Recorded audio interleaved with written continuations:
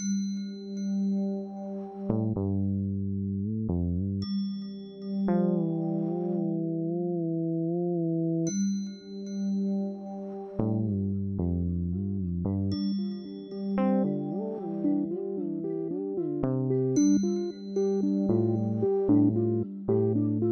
I'm from the capital city of the Mongol. We call it Ulaanbaatar.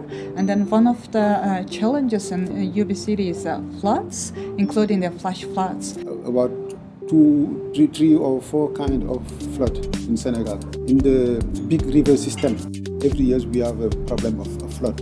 It causes many damage in, in Senegal, uh, material uh, damage. The last major flood in uh, capital city was in 2009 and unfortunately there wasn't no uh, human life loss. Uh, major public services was cut off. With an average of 20 typhoons every year with varying intensities and the effects of climate change in this region including the likes of super typhoon Haiyan and depending on the intensity and path, if such a super typhoon were to hit the greater metropolitan Manila, it would potentially affect 17 million people and reduce our GDP overnight by close to 3% in a single year. In addition to the social impacts, including the tra tragic loss of lives, economic damages and destruction, floods have long term consequences, such as loss of education economic opportunities, spread of disease, and reduced nutrition, all of which can erode an achievement of development goals. These impacts hit the vulnerable segments of the population the hardest, disrupting their lives, existence, and pushing them further into debt and poverty.